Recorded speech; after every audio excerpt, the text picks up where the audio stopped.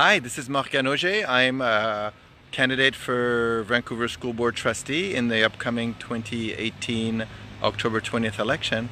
And today I'm at uh, Henry Hudson's Elementary in Kitsilano. Henry Hudson, as you can see, is a gorgeous school. Uh, it's one of the oldest schools in Vancouver. It was built, I believe, in the early 20th century, and if I remember correctly. And um, the the style, as you can tell, is is that style of school which is highly susceptible to earthquake risk.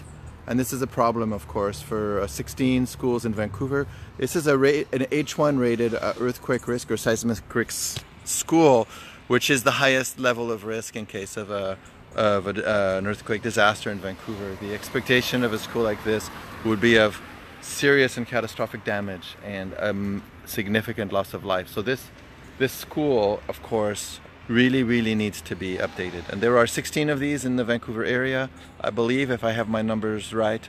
And um, and it's a it's a heartbreaking um, um, paradox. On the one hand, it's a beautiful school, but it's very expensive to repair. But on the other hand, um, we uh, we have room on the field, like over there in this case, for building in in place another school. And this is, of course, the, uh, the, the, kind of decisions that uh, school boards have to make when they allocate funds, which is do we preserve our history when we have heritage buildings like this that really deserve and that people would like to see uh, maintained? Or do we uh, cut our losses and build a new school adjacent and then tear this one down? Of course, uh, the parents love their school. They tell me that it has uh, beautiful hallways, an enormous amount of light. They compare to other schools in the area that are much darker and less uh, less welcoming, and they would like to see the school kept. But at the same time, of course, it's important to remember that these schools are very, very expensive to retrofit. If you can imagine, there's a loss of use for quite some time as we would tear this down internally without hurting the exterior. But there's also simply the fact that it's so expensive to retrofit brick buildings to make them safe for earthquakes and we would lose a significant amount of space to the exercise. Uh, Henry Hudson is also actually a, a, school that's had a number of fights in the past. Uh, if you see in the background over there, there's a uh, there's a playground. Let's see if I can do it. Over here is a, a field, and this field is is fascinating I was here during my campaign in 2017, uh, the campaign where I ran in this neighborhood for for um, uh, MLA in the general election.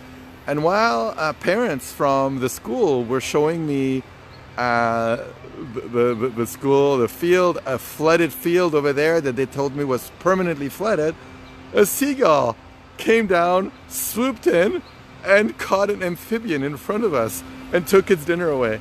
This was a school that had a drainage problem on its field that was so bad that for years the kids couldn't go out there without wearing special equipment because of the state of the facilities. We have to prioritize taking care of our facilities and this is something that if I'm elected trustee, I will make sure that is number one on our on our list of priorities.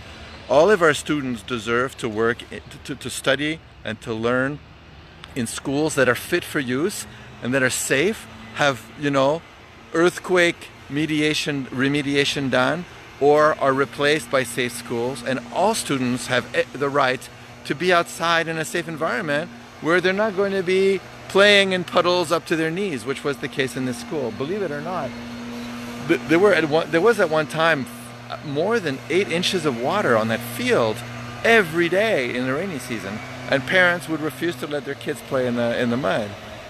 The lake that was out there was approximately the qu- a quarter of the size of a soccer field. Unbelievable that we would allow this to happen in Vancouver. So I'm pleased to see that uh, over the summer drainage was put in, and after the rains that we had a few days ago, there's no sign of water on the field. This is an excellent outcome. But nonetheless, today in the school, the kids are still facing an earthquake risk that we're all very, very mindful about. And school trustees need to prioritize this by working with the province. It's very, very important.